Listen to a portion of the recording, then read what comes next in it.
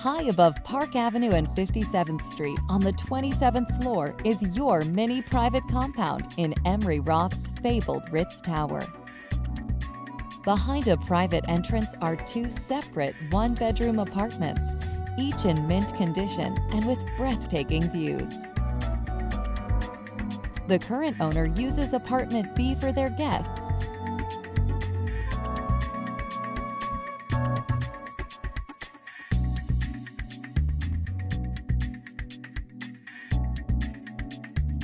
and Apartment C as their private pied-à-terre.